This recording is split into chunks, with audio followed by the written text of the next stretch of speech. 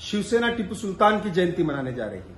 वो टीपू सुल्तान जिसने अपनी तलवार पर गुदवाया था कि ये काफिरों का अंत करने के लिए बनी है, वो टिप्पू सुल्तान जिसने मराठाओं के खिलाफ षड्यंत्र किया, उनके खिलाफ युद्ध लड़ा, वो टिप्पू सुल्तान जिसने अपने सिपे सलाराओं से रोज का रोज हिसाब लेता था कि कितने हिंदुओं का धर्मांतरण किया, उस टीपू सुल्तान की आज शिवसेना जयंती मनाने जा रही है।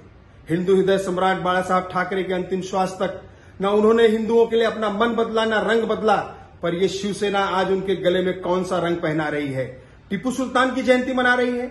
मेरा शिवसेना से एक ही सवाल है कि क्या बाला साहब के आदर्शों को भूल करके औरंगज़ेब की भी जयंती मनाएँगे?